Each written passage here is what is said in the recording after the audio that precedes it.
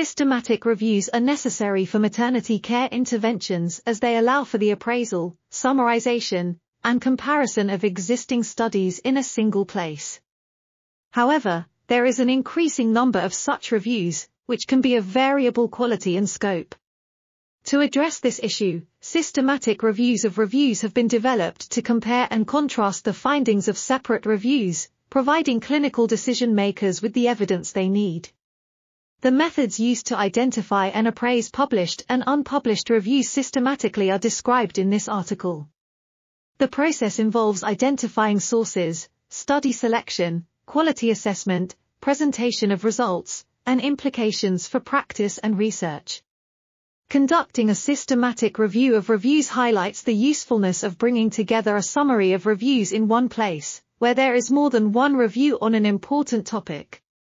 This helps clinicians to review and appraise published reviews systematically, aiding evidence-based clinical decision-making. This article was authored by Begley Cecily M., Devane Declan, Smith Valerie, and others. We are RTCL.TV, links in the description below.